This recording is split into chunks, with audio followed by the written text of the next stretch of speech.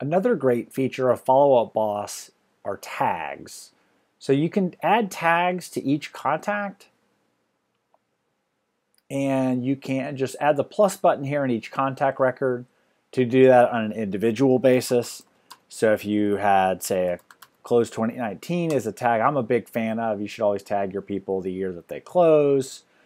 Um, and some tags are auto applied with new leads, they'll come in. If you send an email and it bounces, it'll apply a bounced tag automatically.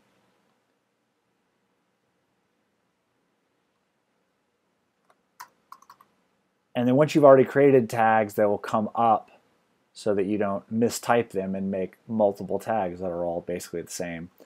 Um, one other thing, though, that is auto apply when you do an import, um, it'll add an import tag and something we reviewed in our um, import video is adding a mass tag to an import that can be whatever you want. So if you want to type that in.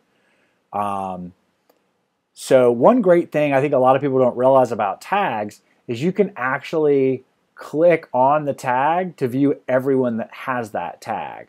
So this is a really powerful feature in that if you have people that are tagged a certain zip code, a lot of lead sources like Zillow and Realtor will add a tag automatically of a zip code. So for example, if you had a new listing in a certain zip code, you could click on that zip code and find everybody who had inquired in that zip code and then send them an email that says, hey, I have a new listing in 30022. Here's a quick link to check it out. Let me know if you're interested. Or maybe better yet, hey, I have a new lead in, in your zip code. Let me know if you'd like to see it or like me to send it over.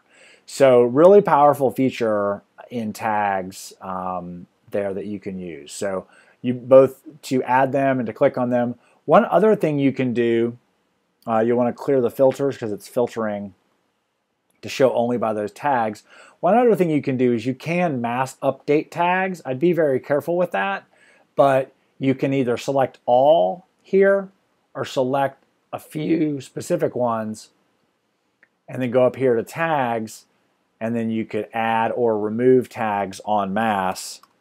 So if we wanted to add these all these people to the close 2019 tag, then we could do it that way and it's going to update all of them then with that tag.